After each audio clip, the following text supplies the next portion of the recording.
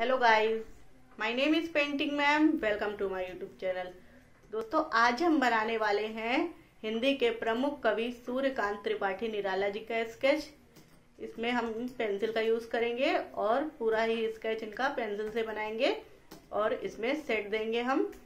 दोस्तों, अगर अभी तक आपने हमारे चैनल को सब्सक्राइब नहीं किया तो प्लीज़ सब्सक्राइब कर लीजिए और बेल आइकन को ज़रूर दबाइए ताकि हमारी वीडियो का नोटिफिकेशन आप तक पहुँच सके और आप हमारी वीडियो को जल्द से जल्द देख सके। तो दोस्तों, आइए हम वीडियो स्टार्ट करते हैं।